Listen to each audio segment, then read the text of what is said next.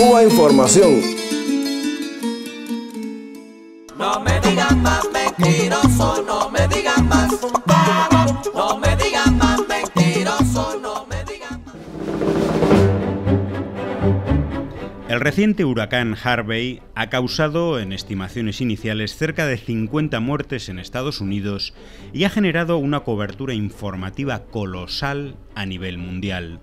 No se puede decir lo mismo de las recientes lluvias monzónicas que en la India, Nepal y Bangladesh han provocado la muerte de más de 1.200 personas sin apenas ser noticia.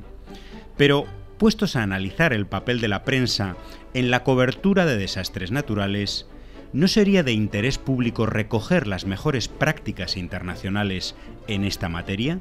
Claro que entonces a los grandes medios no les quedaría más remedio que mencionar uno de los ejemplos más exitosos según numerosos informes especializados, el de Cuba.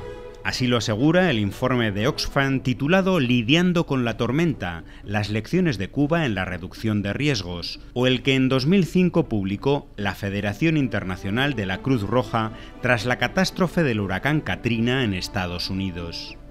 Que Cuba puede aportar enseñanzas útiles a países mucho más ricos es reconocido por personalidades expertas cuyas opiniones rara vez llegan a la gran prensa.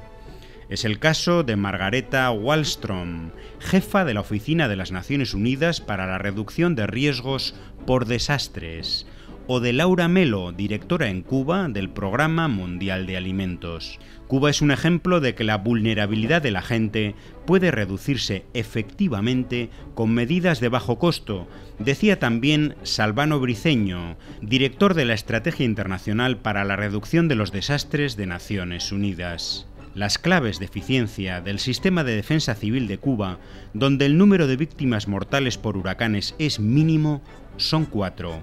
La información permanente a la población mediante los medios públicos, principalmente radio y televisión.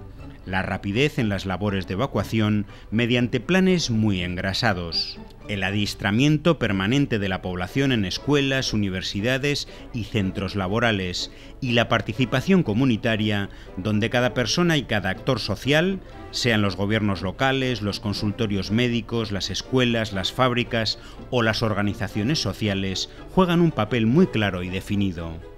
No parece previsible que países de economía y valores capitalistas asuman otras fortalezas del sistema de defensa civil de Cuba, como la capacidad del Estado para actuar sobre los centros laborales, la mayoría bajo su control y propiedad o una arraigada cultura de la solidaridad que permite evacuaciones masivas a viviendas más seguras. Pero sin duda, hay muchos aspectos del modelo cubano que aplicados en otros países harían reducir el número de fallecimientos. Como excepción, en el habitual silencio mediático, en 2009 el diario The New York Times publicaba un interesante trabajo titulado Estados Unidos y Cuba trabajan juntos ante las tormentas, en el que especialistas de la Universidad Estatal de Luisiana y del Centro Nacional de Huracanes de Miami reconocían cuánto podría aprender Estados Unidos de Cuba en esta materia. Pero hoy la gran prensa corporativa prefiere llenar páginas sobre el huracán Harvey con detalles sobre las donaciones millonarias de Sandra Bullock, Beyoncé y Jennifer López.